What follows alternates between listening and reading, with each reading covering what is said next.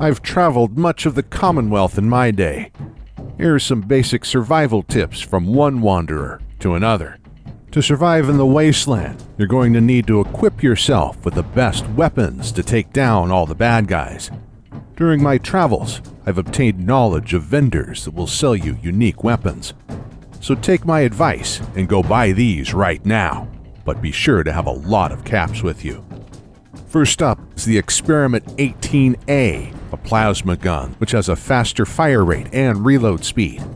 The only way you'll be able to buy this weapon, though, is if you somehow find your way into the Institute.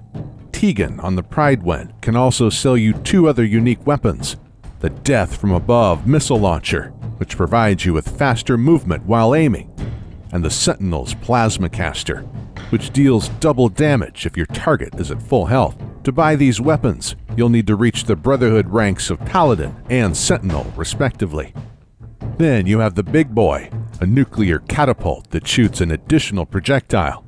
This beauty can be bought from Arturo in Diamond City. While you're visiting Arturo, you might as well pick up Old Faithful too.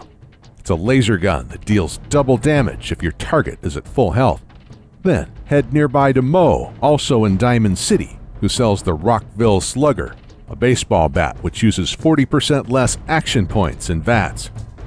For those who prefer getting up close and personal, check out General Chow's Revenge, a Chinese officer sword that does more damage against robots. This is sold by Trudy in the Drumlin Diner. Combat shotguns are also nice, so give Penny a visit at Covenant to purchase Justice, a combat shotgun that may cause enemies to stagger on impact. If you like parties, then head over to Goodneighbor and talk to the Assaultron vendor Cleo to purchase the Party Starter missile launcher, which does more damage against humans. Sometimes we just need some automatic love, so travel to Vault 81 and wait around in this chair until the caravan trader Cricket shows up.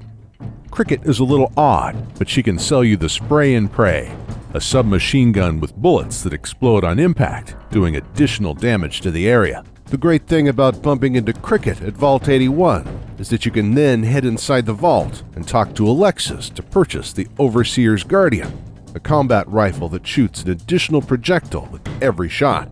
Find yourself needing some more accuracy in VATS? The Tinker Tom Special may be your next best friend. It's a hunting rifle that increases your VATS accuracy if you're not yet in combat. But beware, it also costs more action points to use. If you ever manage to locate Railroad HQ, you can buy this from Tinker Tom. Speaking of friends, if you pay Deb a visit at Bunker Hill, you can pick up the Wastelander's Friend, a 10mm pistol that deals more limb damage. Oh, and don't wait until the last minute before you buy the Last Minute, a Gauss rifle that does more limb damage. You can obtain this weapon from Ronnie Shaw at the castle, but only after you complete a certain mission for her. I have many more survival tips to share with you, but I'm afraid they'll have to wait for another day.